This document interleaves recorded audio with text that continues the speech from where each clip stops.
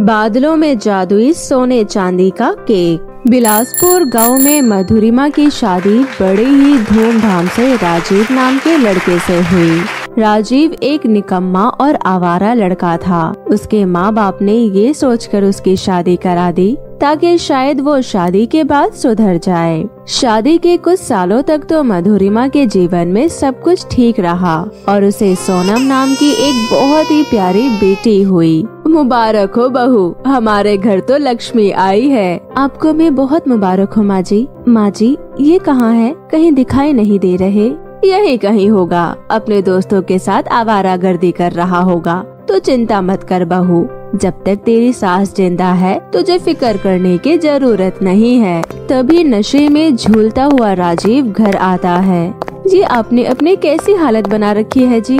दूर हो जाओ मेरे से मैं कुछ भी करूँ। तू मुझे समझाने वाली होती कौन है? चल हट यहाँ से। कुछ तो शर्म कीजिए अब आप पिता बन गए हैं। ये सारी आदतें छोड़ दीजिए। तू मुझे ज्ञान मत दे मुझे पैसे दे। आज तो मैं पूरी रात दारू पीऊँगा और अपने सभी दोस्तों को भी पिलाऊँगा। इतना बोलकर राजीव अलमारी में से मधुरिमा के सारे गहने निकाल लेता है और जाने लगता है माँ जी माँ जी देखिए न ये क्या कर रहे हैं। अरे नालायक, तुझे शर्म है या नहीं? सब पैसे तो जुआ और शराब में फूक गया। अब ये बहू के गहने ले जाते हुए तुझे जरा भी शर्म नहीं आ रही है? मैं कहती हूँ, गहने रख दे, वरना मुझसे बुरा कोई नहीं होगा। चल हट बुढ़िया। तू मुझे रोकेगी। इतना बोलकर राजीव अपनी माँ को ज़ोर से धक्का देता है, जिससे उसकी सांस ज़मीन पर गिर जाती है और उसके सर से खून बहने लगता है। माँ जी माँ जी, आप ठीक तो है ना? अरे कोई डॉक्टर को बुलाओ। अपनी माँ की ये हालत देखकर राजीव वहाँ से भाग जाता है। मधुरिमा की आवाज़ सुनकर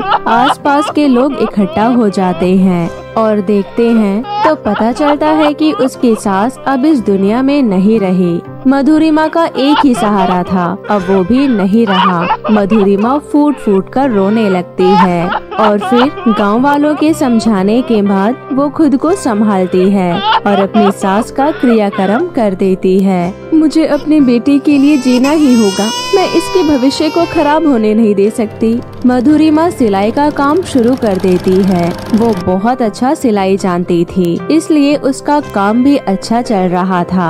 मधुरिमा ने अपनी बेटी सोनम का दाखिला अच्छे स्कूल में कराया था। सब कुछ ठीक चल रहा था। फिर एक दिन अचानक राजीव नशे में झूलता हुआ घर आता है। अब क्या लेने आई हूँ यहाँ? निकल जाओ यहाँ से, वरना मैं पुलिस को फ़ोन करूँगी। यहाँ अब तुम्हारा कोई नहीं रहता। तू मुझे घर से निकालेगी। तू, अरे जब मैं पैसों के लिए अपनी माँ को मार सकता हूँ तो फिर तू क्या है? छोड़ो छोड़ो मुझे। बचाओ बचाओ।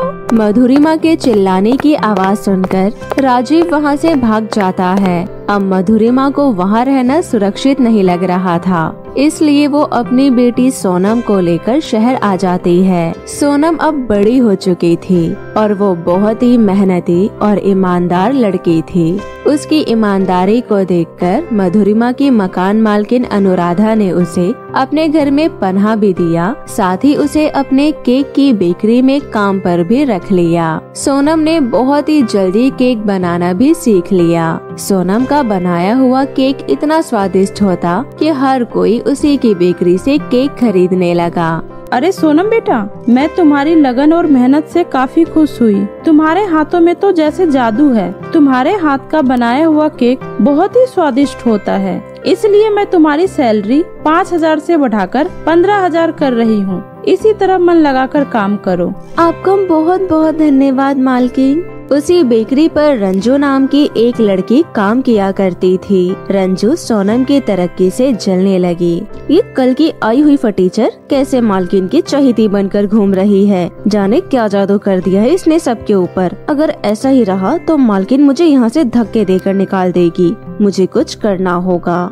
एक दिन अनुराधा सोनम से कहती है, सोनम बेटा, आज एक बहुत ही स्पेशल ऑर्डर आया है। इस शहर के मशहूर बिजनेसमैन राधे श्याम के बेटे का जन्मदिन है और उनके लिए तुम्हें ही केक बनाना है और मुझे पूरा यकीन है, उन्हें तुम्हारे हाथों का केक ज़रूर पसंद आएगा। और अगर ऐसा हो गया तो हम बहुत जल्दी माला माल हो जाएँगे। ज़रूर मालकिन, देखना, मैं इतना स्वादिष्ट केक बनाऊँगी कि सब हैरान रह जाएँगे। और फिर सोनम केक बनाने में लग जाती है। पूरे दिन की मेहनत के बाद केक बनकर तैयार हो गया।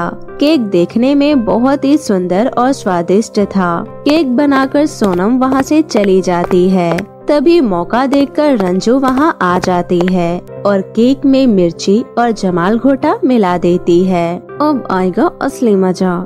थोड़ी देर बाद अनुराधा सोनम से कहती है, सोनम, वो स्पेशल केक ले आओ। गेस्ट आ चुके हैं। सोनम खुशी खुशी वो केक लेकर आती है और बिजनेसमैन राधे श्याम के बेटे को सर्व करती है। उसने जैसे ही केक खाया केक खाते ही उसके पेट में गुड़गुड़ होने लगा और वो उल्टी करने लगा। पिताजी यह मुझे कैसे घटिया दुकान पर ले आए? केक के अंदर भला कौन इतना सारा मिर्ची डालता है? मेरे पेट में बहुत दर्द हो रहा है और मुझे उल्टी भी आ रही है। बेटी की ये हालत को देखकर राधे श्याम की पत्नी सीमा अनुराधा पर भड़कते हुए बोलती है तुमने मेरे बेटे को ये स्पेशल बोलकर क्या खिला दिया? अगर मेरे बेटे को जरा भी कुछ हुआ, फिर मैं तुम्हें छोड़ूँगी नहीं। तू मुझे जानती नहीं है। मैं तुम्हारे इस पूरे बेकरी को सील करवा दूँगी, ताकि तुम्हारा ये घटिया केक खाकर कोई और बीमार ना पड़े। अनुराधा को उनके सामने बहुत ही ज़्यादा शर्मिंदा होना पड़ता है, और वो उन सबसे हाथ जोड़कर माफ़ी मांगती है। सेठ के जाने के बाद गुस्से से अनुराधा सोनम को थप्पड़ मारती है। सोनम तुमने ये अच्छा नहीं किया। तुमने मेरे भरोसे को तोड़ा है। मैं तुम्हें नहीं छोड़ूँगी। तुमने ये सब मेरी दुकान बंद कराने के लिए किया है ना? लेकिन मैं तुम्हें इस मकसद में कभी कामयाब नहीं होने दूँगी। आज तक मैंने जो तुम पर एहसान किया है और तुझे अपने घर में पना दी है, मुझे वह सब पैसे वापस चाहिए। मुझे अब तुम दो लाख रुपए ला कर दोगी। तभी मैं तुझे यहाँ से जाने दूँगी। अब जाओ और पैसे लेकर आओ। तभी तुम यहाँ से अपनी माँ को ले जा पाओगी समझी? मालकिन आप मुझे गलत समझ रही हैं। मैंने तो पूरी लगन और मेहनत से स्वादिष्ट केक बनाया था लेकिन केक का स्वाद इतना ज़्यादा कैसे बिगड़ गया मुझे नहीं पता। मालकिन मुझ पर दया कीजिए मैं इतने पैसे कहाँ से लाऊँगी? मैं आपको दो लाख रुपए नहीं दे पाऊँगी। मेरा यकीन कीजिए मैंने केक में कुछ नहीं मिलाया। सोनम रोते हुए अनुराधा से बहुत माफ़ी मांगती है। लेकिन अनुराधा उसकी कोई भी बात नहीं सुनती और उसे धक्के मारकर सोनम को वहाँ से भगा देती है। ये देखकर रंजू मन ही मन बहुत खुश होती है। सोनम रोते रोते वहाँ से जा रही थी। उसे कुछ समझ नहीं आ रहा था कि आखिर वो इतने पैसे कहाँ से लेकर आए। तभी उसे रास्ते में पैसों से भरा हुआ बटुआ मिलता है। अरे, ये किसका बटुआ है? बटुए में तो बहुत ही ज़्यादा पैसे हैं। जिसका गिरा होगा, वो कितना परेशान हो रहा होगा। मुझे यहीं रुककर बटुए के मालिक का इंतज़ार करना चाहिए, ताकि मैं इस बटुए के मालिक को ये बटुआ दे सकूँ। तभी अचानक वहाँ पर एक बूढ़ी औरत आई और बोली, बेटी, सुनो, क्या तुमने यहाँ मेरा बटुआ देखा है क्या?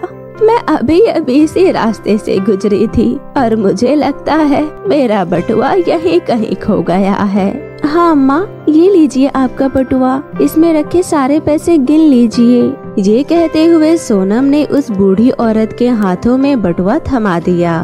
तभी वो बूढ़ी औरत एक सुंदर परी में बदल गई और सोनम से बोली, सोनम, तुम बहुत ही ईमानदार और अच्छी लड़की हो। मैं तुम्हारे बारे में सब जानती हूँ। तुम्हें पैसों की कितनी ज़रूरत थी? लेकिन तुमने फिर भी लालच नहीं किया। तुम चाहती तो तुम ये सारे पैसे रख सकती थी, पर तुमने ऐसा नहीं किया। मुझे पता है कि तुम कितनी परेशानी में हो। आओ मेरे साथ मैं तुम्हारी सारी परेशानी दूर कर दूँगी। मैं तुम्हें अपने जादुई सोने चांदी के केक के पास बादलों में लेकर चलती हूँ। ये कहते हुए परी सोनम को हवा में अपने साथ उड़ाते हुए बादलों में बने, जादुई सोने और चांदी के बर्थडे केक के पास ले गई और फिर परी सोनम को इस केक घर से एक सोने और चांदी का केक देते हुए बोली, सोनम जादुई सोने के केक से तुम्हें बहुत सारे धन दौलत मिलेगा और जादुई चांदी के केक से तुम्हें इंसाफ मिलेगा।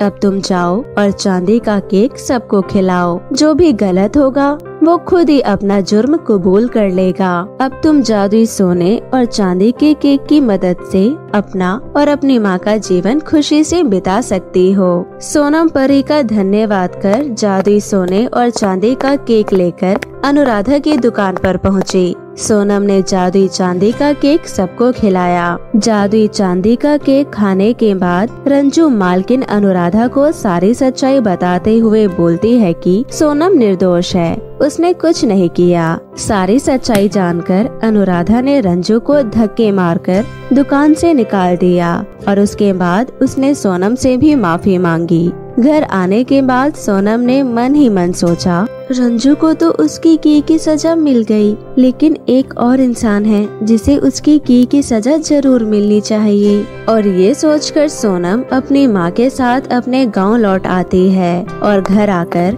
अपने पिता को चांदी का केक खिला देती है। केक खाने के बाद राजीव खुद ही पुलिस स्टेशन जाकर अपना गुनाह कबूल कर लेता है। कत्ल के जुर्म में राजीव को उम्र कैद की सजा मिलती है और सोनम अपनी माँ के साथ जादुई सोने चांदी के केक के साथ हँसी खुशी रहने लगती है।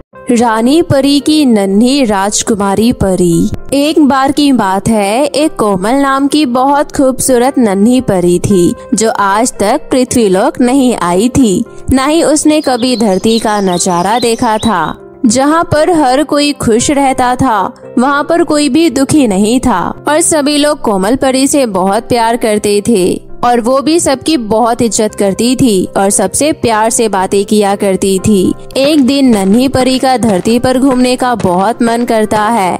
रानी परी से इजाज़त लेने के लिए वो रानी परी के महल जाती है और कहती है रानी परी, मैं आपसे यहाँ पर आज्ञा लेने आई हूँ। मैं काफ़ी दिनों से धरती पर जाने की सोच रही हूँ।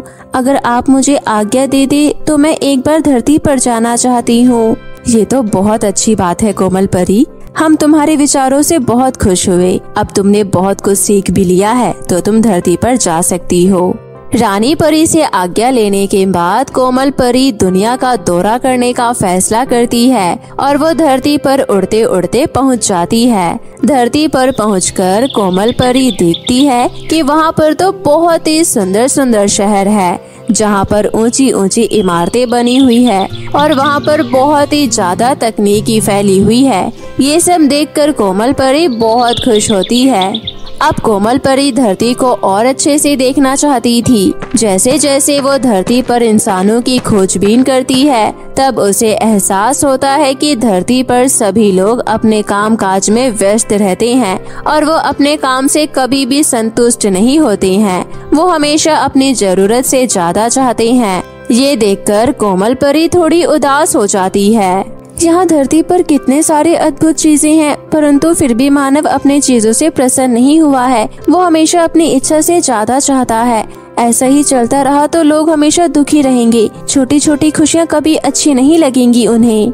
आसमान में उड़ते उड़ते परी एक गाँव में पहुँच जाती है। गाँव की हवा बहुत ही ज़्यादा शुद्ध थी। और वहाँ पर परी को सभी लोग खुश नज़र आ रहे थे। परी जैसे ही उड़ते उड़ते सड़क के किनारे पहुँच जाती है।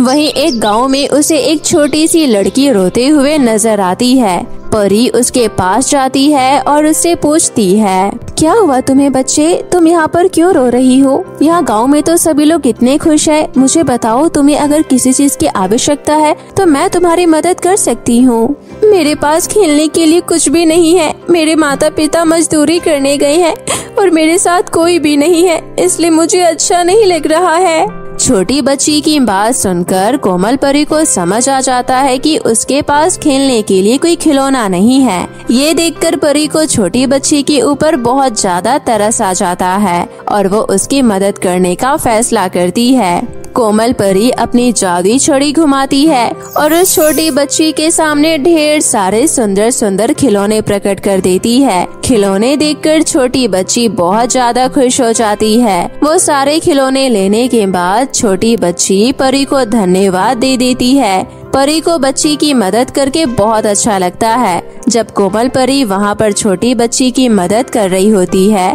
तो ये सब रानी परी देख रही होती है। कोमल परी का दयालु स्वभाव देखकर रानी परी को बहुत अच्छा लगता है। छोटे बच्चे को खुश देखकर कोमल परी को बहुत अच्छा लगता है। तभी कोमल परी को ये एहसास होता है कि वो पृथ्वी लोक पर लोगों को खुश कर सकती है और अपने जादू का इस्तेमाल कर सकती है। उसके बाद से कोमल परी इंसानों की दुनिया में रहने लगती है और वो गरीब और जरूरतमंद लोगों की मदद करती है। वो अपनी जादू का इस्तेमाल करती है और गरीब लोगों के चेहरे पर मुस्कान लाने के लिए मुसीबत में मदद करती है। जब भी कोमल परी को कहीं भी उदासी दिखती तो वो वहाँ पर प्यार फैलाने की कोशिश करती। और इस प्रकार नन्ही कोमल परी हमेशा के लिए पृथ्वी लोक पर ही रहने लगती है, और उसके इस फैसले से रानी परी भी बहुत खुश होती है।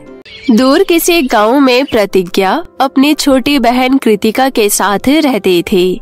अपने माता पिता के जाने के बाद दोनों बहनें ही एक दूसरे का सहारा थी। प्रतिज्ञा अपनी छोटी बहन कृतिका को माँ जितना प्यार देती थी और उसे कभी भी माँ की कमी महसूस नहीं होने देती थी।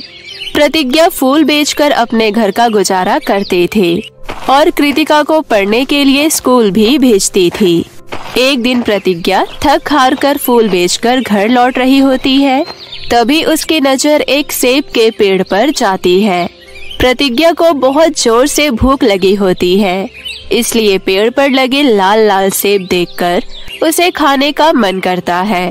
प्रतिज्ञा बगीचे में जाती है और सेब के पेड़ से सेब तोड़ने की कोशिश करने लगती है। तभी वहाँ बगीचे का मालिक आ जाता है और गुस्से से प्रतिज्ञा को कहता है खबरदार लड़की अगर तूने मेरे बगीचे के सेब को हाथ लगाने की कोशिश की तो चल अभी कभी मेरे बगीचे से बाहर निकल। मुझे बहुत भूख लग रही है साहब। बस एक सेब दे दो। एक एक सेब की कीमत होती है समझी? मैंने बोला ना अभी कभी मेरे बगीचे से बाहर निकल वरना मैं अपनी बीवी को बुला लूँगा और वो तुझे बहुत पीटेगी। नहीं नहीं आप ऐसा कुछ मत करना मैं जा रही हूँ। इतना बोलकर प्रतिज्ञा वहाँ से जाती है। रास्ते में एक बूढ़ी औरत अपने फल की टोकरी लेकर बैठी होती है। प्रतिज्ञा को देखकर बूढ़ी औरत उसे रोकते हुए बोलती है रुको बेटी जरा इधर तो आओ। बूढ़ी औरत की आवाज़ सुनकर प्रतिज्ञा उसके पास जाती है। बूढ़ी औरत प्रतिज्ञा को कहती है, बेटी, जरा इस फलों की टोकरी को मेरे सर पर रखने में मेरी मदद करोगी। प्रतिज्ञा देखती है कि उस बूढ़ी औरत के टोकरी में बहुत सारे फल है। इतने सारे फल देखकर प्रतिज्ञा समझ जाती है कि बूढ़ी औरत के आज ज़्यादा फल नहीं बिके हैं। अम्मा जी मुझे लग रहा है कि आज आपके ज़्यादा फल नहीं बिके हैं। हाँ बेटी कभी कभी दोहरी तकलीफ़ उठानी पड़ती है। एक तो फल ना बिकने की तकलीफ़ और दूसरी इतनी भारी टोकरी घर तक ले जाने की तकलीफ़। लोग बड़ी बड़ी दुकानों में मोल भाव नहीं करते हैं। लेकिन मेरे सेब को बहुत सस्ते दामों में खरीदना चाहते हैं। कभी कभी तो इतने कम दामों में मांगते हैं कि मेरी लागत भी उससे ज़्यादा होती है। अम्मा मैं आपकी दूसरी तकलीफ़ यानी टोकरी को घर तक ले जाने की तकलीफ़ कम कर सकती हूँ। आपकी टोकरी मैं अपने सर पर रखकर आपके घर तक पहुँचा दूँगी। रहने दो बेटी। मेरे लिए तुम इतनी परेशानी क्यों उठा रही हो? ये तो हर दिन की बात है। कभी ज़्यादा बोझ रहता है कभी हल्का बोझ रहता है। कोई बात नहीं लेकिन आपका आज का बोझ मैं उठाऊँगी। उसके बाद प्रतिज्ञा टोकरी अपने सर पर उठाती है और बूढ़ी अम्मा के साथ उसके घर जाती है। कुछ देर बाद बूढ़ी अम्मा का घर आ जाता है। घर में फलों की टोकरी रखकर प्रतिज्ञा बोलती है। अम्मा आप इस उम्र में फल बेचने का काम क्यों करती हो? बिटिया मेरा इस दुनिया में कोई नहीं है। इसलिए पेट को भरने के लिए कुछ तो काम करना ही पड़ेगा। आपके घर में कोई नहीं रहता आपके साथ? अभी कुछ साल पहले ही मेरी जवान बेटी की मौत हो गई। तब से मैं इसी तरह अकेली हूँ। अब हर दिन भगवान से यही प्रार्थना करती हूँ कि भगवान मुझे भी उठा ले। बूढ़ी अम्मा की बातें सुनकर प्रतिज्ञा की आँखें भर आती है। प्रतिज्ञा मन ही मन बूढ़ी अम्मा की मदद करने का फैसला करती है और बोलती है, अम्मा, आज से हर रोज मैं आपकी टोकरी उठाकर ले जाऊँगी। इस उम्र में आपका इतना भारी बोझ उठाना सही नहीं है। इतना कहकर प्रतिज्ञा जाने लगती है। तभी बूढ़ी अम्मा उसे रोकती है और बोलती है रुको बेटी हम दोनों में इतनी बात हो गई लेकिन तुमने अभी तक मुझे अपना नाम नहीं बताया। अम्मा मेरा नाम प्रतिज्ञा है और इस गाँव में मैं अपनी छोटी बहन के साथ रहती हूँ। अरे वाह तुम्हारा नाम तो बहुत अच्छा है। उसके बाद बूढ़ी अम्मा अपने फलों की टोकरी से तीन सेब निकालती है और प्रतिज्ञा को देने लगती है। ये लो बेटी, तुम इन तीनों सेब को जाकर अपने घर के बाहर मिट्टी के अंदर लगा देना। बूढ़ी अम्मा की बात प्रतिज्ञा को थोड़ी अजीब लगती है, लेकिन वो उनकी बात मानकर तीनों सेब अपने घर के बाहर जाकर लगा देती है। अगले दिन सुबह प्रतिज्ञा देखती है कि उसके घर के बाहर तीन छोटे छोटे सेब के पौधे आ जाते हैं। अरे वाह! कल ही तो मैंने तीनों सेब यहाँ लगाए थे और इतने जल्दी पौधे भी उग गए। प्रतिज्ञा उन तीनों सेब के पौधे को जितनी बार देखती थी वो पौधा और बड़ा होता जाता था। कुछ ही दिनों में तीनों सेब के पौधे एक बड़े से सेब के पेड़ में बदल जाते हैं। तीनों पेड़ पर बड़े बड़े लाल लाल ढेर सारे सेब लटके हुए थे। तीनों सेब के पेड़ को देखकर प्रतिज्ञा हैरान होकर बोलती है अरे बूढ़ी अम्मा के दिए हुए सेब से ऐसा कमाल होगा? ये तो मैंने सपने में भी नहीं सोचा था। तभी कृतिका वहाँ आती है और प्रतिज्ञा से बोलती है अरे दीदी आपको फूल बेचने की कोई ज़रूरत ही नहीं है। अब से आप इन्हीं सेब को बाज़ार में बेचकर मुनाफा कमाना। हाँ तुम बिल्कुल सही कह रही हो। उसके बाद दोनों बहनें सेब के पेड़ों से सेब तोड़ने लगती है। जैसे ही दोनों बहनें सेब तोड़ती थी वहाँ फिर से एक नया सेब आ जाता था। इस तरह सेब खत्म ही नहीं हो रहे थे और सेब से कई बोरे भी भर गए थे। हे भगवान ये कैसा जादू है? आपने तो मुझे सेब का इतना बड़ा भंडार दे दिया है। प्रतिज्ञा के इतना कहते ही तीनों पेड़ में से किसी एक पेड़ से आवाज़ आती है। बिटिया बूढ़ी अम्मा ने जो तुम्हें सेब दिए थे वो तीनों सेब जादुई थे। क्या? ये बात अम्मा को पता थी? नहीं ये बात अम्मा को पता नहीं थी क्योंकि उनको ये तीनों सेब एक जादूगरनी ने दिया था। अम्मा ने इन तीनों सेब को मामूली समझकर बेचने लगी थी लेकिन उनकी बिक्री ना होने की वजह से ये सेब नहीं बिक पाए। आज से तुम्हें किसी भी परेशानी का सामना नहीं करना पड़ेगा। उस दिन के बाद से प्रतिज्ञा सेब का व्यापार करने लगती है। सेब को बेचकर प्रतिज्ञा ढेर सारा धन इकट्ठा कर लेती है। एक दिन प्रतिज्ञा वहीं बूढ़ी अम्मा के पास जाती है और बोलती है अम्मा आज से आपको फल बेचने की कोई ज़रूरत नहीं है। क्या? ये क्या बोल रही हो बेटी? अम्मा भगवान की दया से आपकी इस बेटी का सेब का व्यापार दूर दूर तक होता है। इसलिए अब मुझे किसी चीज़ की कोई कमी नहीं है और आज से आप मेरे साथ ही रहना। नहीं बेटी मैं तुम्हारे साथ कैसे जा सकती हूँ? क्यों नहीं अम्मा? आपको दो बेटियाँ मिल जाएँगी। और मुझे माँ, इसलिए आप मेरे साथ चलने के लिए मना मत कीजिए। प्रतिज्ञा की बात सुनकर बूढ़ी अम्मा की आँखें भर आती है और वो उसके साथ चलने के लिए राज़ी हो जाती है। उसके बाद बूढ़ी अम्मा प्रतिज्ञा के साथ उसके घर जाती है और उसे जादुई तीनों सेब के बारे में बताती है। प्रतिज्ञा की बात सुनकर बूढ़ी अम्मा बहुत खुश होती है और उस दिन के बाद प्रतिज्ञा कृतिका और बूढ़ी अम्मा एक साथ रहने लगती है। अब प्रतिज्ञा बहुत अमीर हो चुकी थी। उसके पास बड़ा घर, गाड़ी और सब कुछ था। प्रतिज्ञा के सेब हर जगह मशहूर हो गए थे। इसलिए वो व्यापारी जिसने प्रतिज्ञा को एक सेब देने से मना किया था, उसके सेब का व्यापार होना बंद हो जाता है। ये सब देखकर व्यापारी राजीव को बहुत गुस्सा आता है और वो अपने मन ही मन सोचता है। कहाँ इस भिखारी ने एक सेब खाने के लिए मेरे सामने हाथ जोड़े थे? और आज इसकी वजह से मेरे सेब कहीं बिक नहीं रहे हैं? मैं इसे छोड़ूँगा नहीं।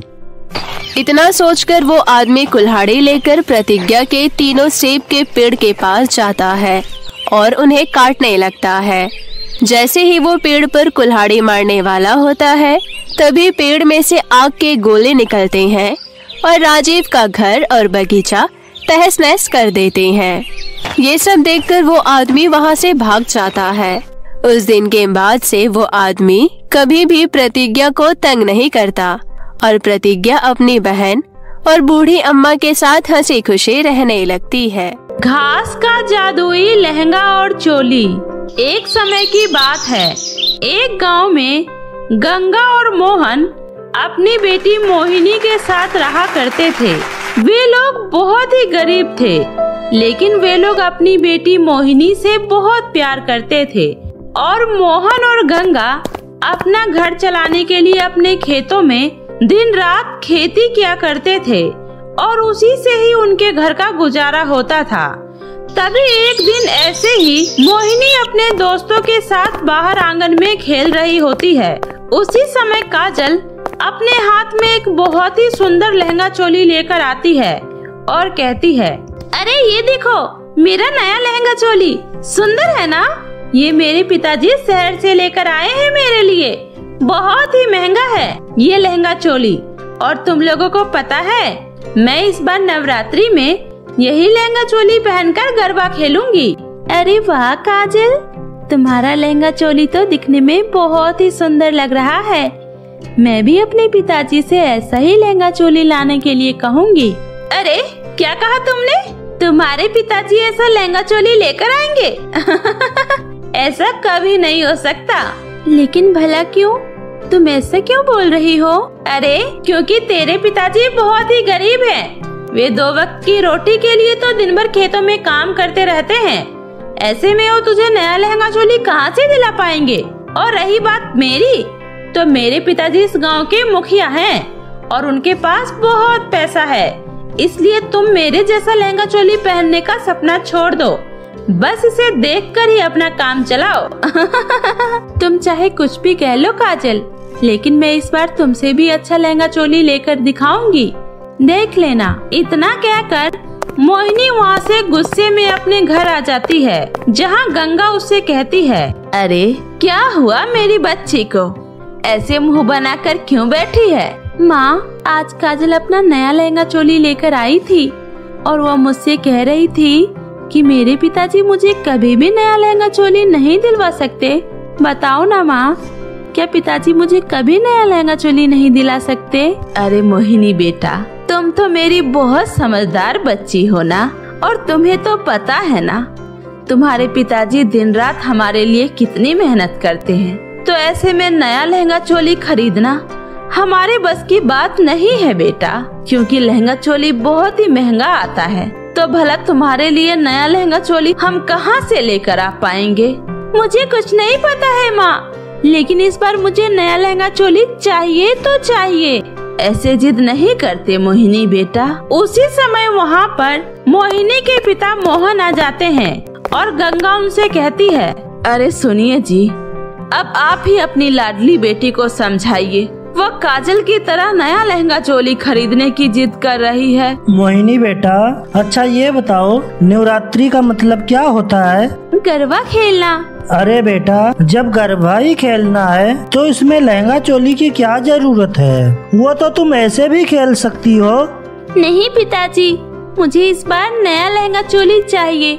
वरना मैं इस बार गरबा खेलने नहीं जाऊँगी। इस तरह मोहिनी जिद पकड़कर बैठ जाती है कि उसे नया लहंगा चोली चाहिए तो चाहिए। ये देखकर मोहन सोच में पड़ जाता है कि वो अपनी बेटी को नया लहंगा चोली कैसे दिला पाएगा। इसलिए वो अगले दिन अपने खास दोस्त राघव के घर जाता है और उनसे कहता है अरे भाई राघव, मुझे तुमसे कुछ पैसों की मदद चाहिए। मैं अगले महीने तुम्हारे सारे पैसे लौटा दूँगा। अरे यार मोहन, मेरे पास तो अभी एक भी पैसा नहीं है। और तुम्हें पता है ना, नवरात्रि का सामान खरीदने के लिए खुद ही मेरी पत्नी रोज मुझसे लड़ती है। लेकिन भाई, जब मेरे पास पैसा है ही नहीं तो मैं उसे कहाँ से ला कर दूँ? अपने दोस्त की बात सुनकर मोहन वहाँ से निराश होकर घर आ जाता है और अपनी पत्नी को सब कुछ बता देता है। तभी गंगा कहती है, अरे, जब हम लोगों के पास पैसे हैं ही नहीं तो आप क्यों मोहिनी की जिद को पूरी करने में लगे हुए हैं? आप उसे समझा दीजिए, वो समझ जाएगी। वही मोहिनी बाहर खड़ी ये सब बातें सुन लेती है और वो अंदर जाकर अपने पिताजी से कहती है, कोई बात नहीं पिताजी मुझे नया लहंगा चोली नहीं चाहिए। मुझे पता था, मेरी मोहिनी बेटी बहुत ही समझदार है। मोहिनी ऐसा कह तो देती है, लेकिन वो मन ही मन बहुत दुखी होती है, क्योंकि उसे नया लहंगा चोली चाहिए था। लेकिन उसे पता था कि उसके पिताजी उसके लिए नया लहंगा चोली नहीं ला पाएँगे। इसलिए वह चुपचाप दोपहर के समय नदी के पास पानी भरने जाती है। और कहती है, हे भगवान, काश सपनों की तरह ये नदी भी एक जादुई नदी होती तो मैं इससे अपने लिए एक नया लहंगा चोली मांगती। कितना मज़ा आता ना? लेकिन ऐसा शायद सिर्फ़ सपनों में ही होता है। हकीकत में तो हम जैसे गरीब लोगों के नसीब में लहंगा चोली पहनना लिखा ही नहीं होता है। मोहिनी के इतना कहते ही उसके आँखों से आँसू छलकने लगते हैं और जैसे ही उसके आँसू नदी में गिरते हैं उसी समय नदी में से एक आवाज़ आती है। सुनो मोहिनी तुमने मुझे अभी अभी याद किया? कौन कौन है यहाँ लेकिन मुझे यहाँ तो कोई दिखाई नहीं दे रहा है। कौन हो आप? घबराओ नहीं मोहिनी। मैं एक जादुई नदी हूँ जैसा कि अभी तुमने कहा। क, क, क्या? लेकिन ऐसा कैसे हो सकता है? हाँ ये सच है मोहिनी, मैं एक जादुई नदी हूँ, और तुमने मुझसे अभी एक नया लहंगा चोली मांगा ना? तो ये लो। ये घास से बना हुआ, बहुत ही यूनिक और सुंदर डिज़ाइन का लहंगा चोली है। तुम इस लहंगा चोली से जो कुछ भी मांगोगी, ये तुम्हारी सारी इच्छाओं को पूरा करेगा। क्या आप सच कह रही हो? आपका बहुत बहुत शुक्रिया जादुई नदी। इतना बोलकर मोहिनी वह जादुई घास से बना लहंगा चोली लेकर घर आ जाती है और घर आकर वो अपने माता पिता को सारी बातें बता देती है, जिसके बाद गंगा उनसे कहती है, लेकिन ऐसा कैसे हो सकता है? ये सब तो मैंने कहानियों में सुना है। पर माँ, मैं बिल्कुल सच कह रही हूँ, वो नदी एक जादुई नदी है और उसी ने मुझे ये जादुई घास का लहंगा चोली भी दिया है। और उसने कहा है कि हम इससे अपनी कोई भी इच्छा पूरी करवा सकते हैं। अच्छा तो ऐसी बात है। तो हमें भी दिखाओ अपने जादुई लहंगा चोली की जादू। ठीक है पिताजी मैं अभी आप लोगों को दिखाती हूँ। हे मेरे जादुई घास के बने हुए लहंगा चोली तो मुझे अभी बहुत ही स्वादिष्ट खाना ला कर दो। मोहिनी के इतना कहते ही उस घास के बने लहंगा चोली में से स्वादिष्ट खाना निकलकर बाहर आ जाता है। ये देखकर गंगा और मोहन हैरान हो जाते हैं और कहते हैं, सच में बेटी, ये घास का लहंगा चोली तो वाकई जादुई लहंगा चोली है। और ऐसे ही नवरात्रि की पहली रात मोहिनी वह घास से बना हुआ लहंगा चोली पहनकर जाती है, जहाँ हर कोई उसके लहंगा चोली की बहुत तारीफ़ करते हैं। लेकिन वही काजल उसके लहंगा चोली को देखकर मन ही मन बहुत जल रही होती है। क्योंकि मोहिनी उस लहंगा चोली में बहुत ही सुंदर लग रही होती है और हर कोई सिर्फ़ उसी की तारीफ़ कर रहा होता है।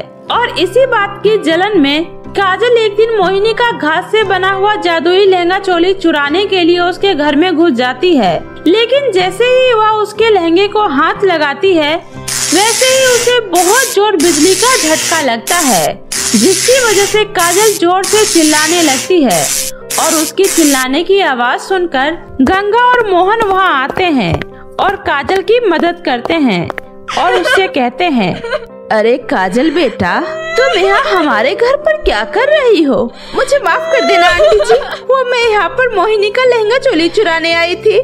लेकिन मैंने जैसे इस लहंगे को हाथ लगाया, मुझे वैसे ही बिजली का बहुत ज़ोर झटका लगा, जिससे मेरा दिमाग ही हिल गया। मुझे माफ़ कर दो, आंटी जी। काजल की बातें सुनकर मोहन और गंगा को पूरा विश्वास हो जाता है कि सच में ये एक जादुई लहंगा है और काजल भी वहाँ से चुपचाप अपने घर चली जाती है और उसे भी समझ में आ जाता है कि मोहिनी का वह लहंगा कोई मामूली लहंगा नहीं बल्कि जादुई लहंगा चोली है। उस दिन के बाद से काजल कभी दोबारा उस लहंगे को चुराने के बारे में सोचती भी नहीं है। वहीं मोहिनी अपने जादुई घास के बने लहंगा चोली की मदद से अपने घर की गरीब स्थिति को पूरी तरह से बदल लेती है और अपने परिवार के साथ खुशी खुशी रहने लगती है। मुंबई शहर के छोटे से नगर में विजय अपने परिवार के साथ रहता था। विजय की पत्नी का नाम सुमन था और वह नव विवाहित जोड़ा था। क्योंकि विजय की शादी अभी अभी हुई थी तो वो अपनी शादी से बहुत ज़्यादा खुश था।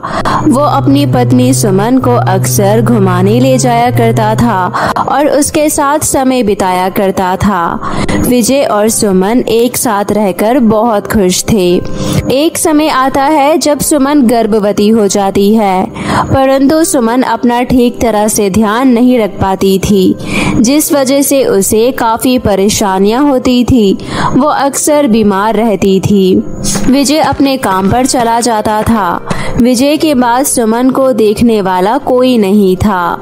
इसलिए विजय अपनी माँ को गाँव से अपने घर ले आता है।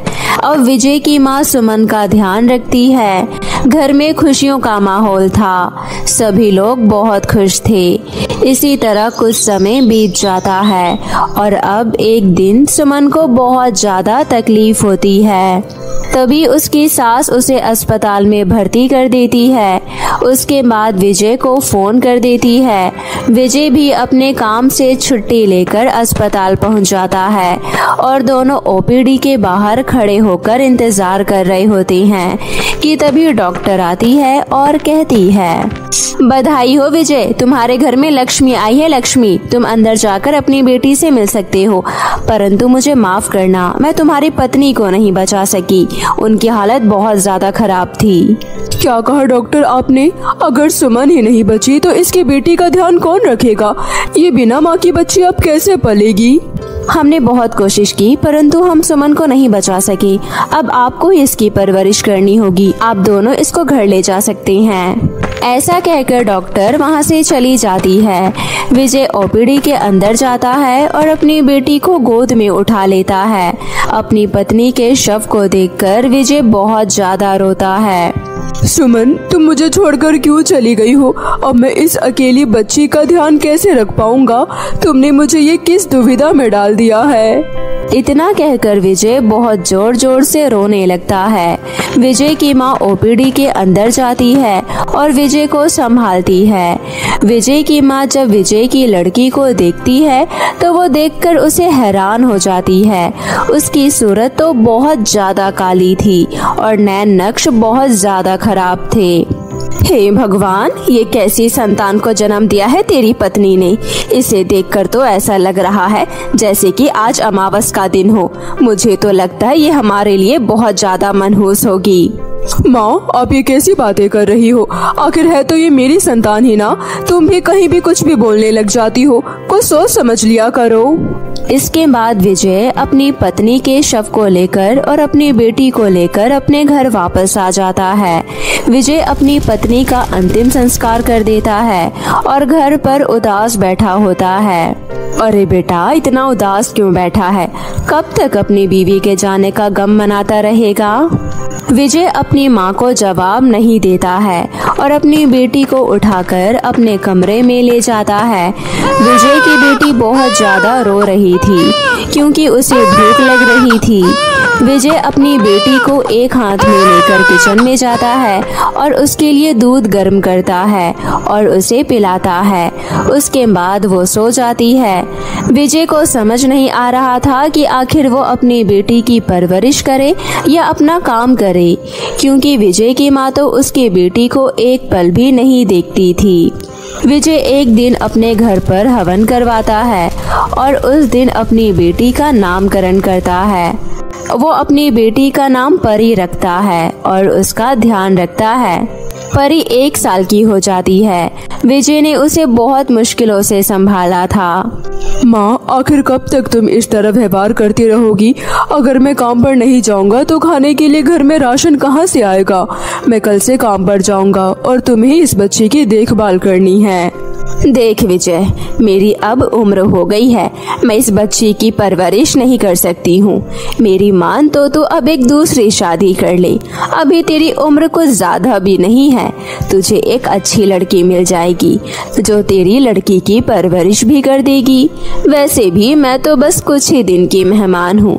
तेरे पास तो आगे की पूरी ज़िंदगी पड़ी है।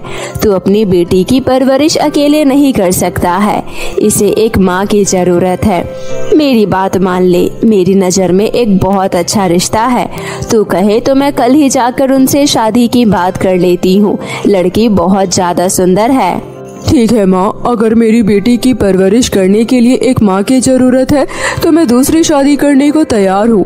परंतु मैं आपसे पहले ही कह देता हूँ कि मैं अब अपने और औलाद पैदा नहीं करूँगा। अगर वो लड़की इस बात से राज़ी हो जाए तो मैं शादी करने के लिए तैयार हूँ। अरे वाह बेटा, तुमने शादी के लिए हाँ बोलकर तो मेरे कलेजे को ठंडक दे दी है। मैं तो कब से तेरे बारे में सोच सोच कर परेशान हो रही थी। अब मेरी सारी चिंता दूर हो गई है। मैं आज ही जाकर शादी की बात करती हूँ। परंतु तुझे मुझसे एक वादा करना होगा। शादी से पहले तू उस लड़की को ये नहीं बताएगा कि तेरी पहले से ही एक लड़की है। तू जानता है ना कि एक कुंवारी लड़की कभी भी ऐसे आदमी से शादी नहीं करेगी, जिसके पहले से कोई संतान हो। जब शादी हो जाएगी उसके बाद सब कुछ उसे पता चल जाएगा। परंतु जब तक तुम्हें चुप रहना होगा। लेकिन माँ ये तो धोखेबाजी हुई ना। क्या पता वो यहाँ आकर उसकी परवरिश करने से इनकार कर दे फिर हम क्या करेंगे? अरे बेटा कुछ गलत बात नहीं है। मैं सब कुछ संभाल लूँगी। इसके बाद विजय अपने काम पर जाने लगता है और विजय की माँ परी का ध्यान रखने लगती है। विजय की माँ विजय की दूसरी शादी करने की पूरी कोशिश कर रही थी। उसे एक लड़की मिल जाती है। उसके बाद विजय की माँ उन दोनों की शादी कर देती है। विजय की दूसरी पत्नी का नाम राधा था। राधा दिखने में बहुत ही ज़्यादा खूबसूरत थी और वो शहर की एक मॉडर्न लड़की थी। शादी के बाद राधा विजय के घर आ जाती है। विजय की माँ दोनों का स्वागत करती है। तभी राधा पूरे घर को देखने के लिए इधर उधर घूमने लगती है। तभी राधा परी के कमरे में जाती है और परी को देखकर हैरान हो जाती है। माँ, ये कौन है? अरे बेटी बेटी, ये एक लड़की है जो विजय को एक मंदिर के बाहर मिली थी। विजय बहुत दयालु किस्म का इंसान है, इसलिए उसे ये सब देखा नहीं गया और वो इस लड़की को उठाकर घर ले आया। ओ माय गॉड माँ, इसकी हालत तो देखो कितनी बुरी है, कितनी बदसूरत दिख रही है ये। मुझे तो लग रहा है विजय के व्यापार में नाकामयाबी के पीछे इसी का हाथ है। हमें इसे घर से बाहर निकाल देना चाहिए। तभी माँ राधा के कान में कहती है, अरे बेटी, विजय इससे बहुत प्रेम करता है। हमें इसे घर से बाहर निकालने के लिए कुछ तरकीब निकालनी होगी, तभी कुछ हो सकता है। अब दोनों सास बहू कानाफूसी करती हैं और राधा जाकर अपने कमरे में सो जाती है। अगले दिन विजय अपने काम पर चला जाता है और राधा माँ के बताए अनुसार परी को वापस मंदिर की ओर छोड़कर आ जाती है और उसके बाद घर पर आकर पार्टी करने लगती है। शाम को जब विजय अपने काम से वापस आता है तो वो परी को इधर उधर ढूँढने लगता है, परंतु उसे परी कहीं नज़र नहीं आती है। विजय राधा को आवाज़ देता है। राधा राधा, जल्दी इधर आओ। क्या हुआ विजय? तुम इस तरह चिल्ला क्यों रहे हो? चिल्लाऊ नहीं तो और क्या करूँ? पूरे घर में ढूंढ लिया, मुझे परी कहीं नज़र नहीं आ रही है। कहाँ है परी? मुझे नहीं पता परी कहाँ है। आप ये मुझसे क्यों पूछ रहे हैं? मैं यहाँ पर परी की परवरिश करने के लिए थोड़ी ना आई हूँ। माँ माँ कहाँ है? माँ शायद पूजा करने के लिए मंदिर गई है, अभी आने ही वाली होगी। विजय सोचता है कि शायद माँ परी को अपने साथ मंदिर ले गई हो। विजय अपना हाथ मुँह धो लेता है और खाना खा लेता है। विजय की माँ जब मंदिर से वापस आती है तो उनको खाली हाथ देखकर विजय उनसे प्रश्न करता है। माँ माँ परी कहाँ है? मैं जब से काम पर से वापस आया हूँ, मुझे कहीं दिखाई नहीं दे रही है।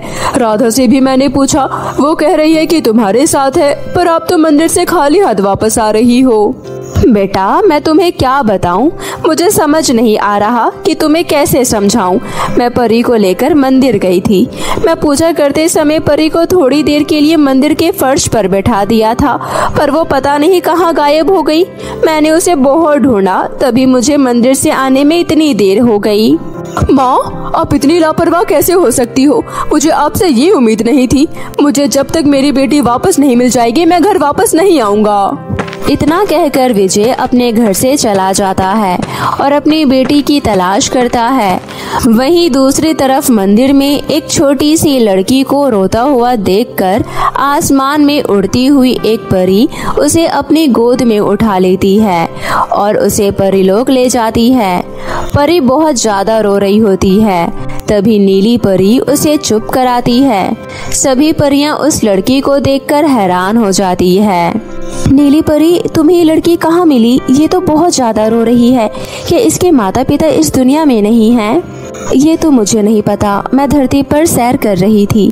तभी मुझे ये लड़की एक मंदिर के बाहर रोते हुए नज़र आई और इसके आसपास कोई नहीं था। इसलिए मैं इसे यहाँ उठा कर ले आई हूँ। देखो ना, इस बच्ची को इतना बदसूरत होने की वजह से इसके माता पिता इसको मंदिर में छोड़कर चले गए हैं शायद। हाँ नीलपरी, आजकल लोग बहुत ज़्यादा स्वार्थी हो गए हैं। वो खूबसूरती को ही सब कुछ समझते हैं। कोई बात नहीं, अब इस छोटी बच्ची का ध्यान हम रखेंगे। इसके बाद नील परी और नटखट परी मिलकर उस लड़की को रानी परी के पास लेकर जाते हैं और रानी परी को सारी कहानी बता देते हैं। रानी परी अपनी जादुई शक्तियों से परी को बहुत खूबसूरत बना देती है। और अब उसकी नीली आँखें, लंबे सुनहरे बाल और एक खूबसूरत सी ड्रेस में एकदम परी बन जाती है। रानी परी उसकी परवरिश करती है और धीरे धीरे कर कर वो छह वर्ष की हो जाती है। वहीं दूसरी तरफ़ विजय अपनी बेटी की तलाश करते हुए बहुत दूर दूर तक घूमता है और बहुत परेशान रहता है। काश काश मैं माँ के कहे अनुसार दूसरी शादी ना की होती तो शायद आज मेरी परी मेरे पास होती। सुमन, तुम कहाँ हो? देख रही हो ना? तुम भी मुझे छोड़कर चली गई हो, और परी भी मुझे छोड़कर चली गई है। अब मैं क्या करूँ? इस दुनिया में मुझे अब अकेला नहीं रहना है। मुझे भी अपने पास बुला लो, मैं बहुत ज़्यादा परेशान हूँ। विजय बहुत परेशान होता है और रोने लगता है। विजय को रोता हुआ देखकर उसकी मरी हुई पत्नी सुमन उसके सामने प्रकट होती है और उससे पूछती है विजय, तुम बिल्कुल भी चिंता मत करो। हमारी परी बिल्कुल सुरक्षित है। तुम्हारी माँ और तुम्हारी पत्नी ने परी को मंदिर में छोड़ दिया था और वो वहाँ पर बहुत ज़्यादा रो रही थी। तभी नील परी उसे उठाकर परिलोक में ले गई और अब वही उसकी परवरिश कर रही है। हमारी बेटी एकदम सुरक्षित है और अब बहुत ज़्यादा खूबसूरत भी हो गई है। मैं अपनी बेटी को एक बार देखना चाहता हूँ और उससे माफ़ी मांगना चाहता हूँ। मेरे होते हुए उसके साथ इतना कुछ हो गया। विजय हाथ जोड़कर अपनी पत्नी से विनती करता है कि वो अपनी परी से मिलना चाहता है। तभी विजय की वो तमन्ना को देखकर नील परी परी लोग से परी को लेकर विजय के पास आती है और उसे बताती है कि यही परी है। विजय अपनी बेटी को देखकर बहुत ज़्यादा खुश होता है और उसे गले लगा लेता है। मुझे माफ़ कर देना बेटी। मैं तुम्हारी परवरिश बिल्कुल भी नहीं कर पाया हूँ। परंतु मैं वापस अपनी माँ और अपनी पत्नी के पास कभी नहीं जाऊँगा। मैं तुम्हारे साथ ही रहूँगा। अपनी बेटी के प्रति विजय का इतना प्रेम देखकर नील परी परी को विजय को सौंप देती है। और अब विजय अपनी बेटी के साथ एक छोटे से घर में रहने लगता है। विजय अपनी बेटी का एडमिशन एक स्कूल में कर देता है और वो उसके लिए सुबह उठकर नाश्ता बनाता है और उसे स्कूल छोड़कर आता है। उसके बाद अपने ऑफ़िस चला जाता है। इस तरह विजय अपनी बेटी का अब बहुत अच्छे से ध्यान रखता है और विजय की बेटी बहुत बड़ी हो जाती है। बड़ी होने के बाद परी अपने पापा का बहुत ध्यान रखती है। उन्हें समय पर दवाई देती है और दोनों एक साथ खुशी खुशी रहती हैं।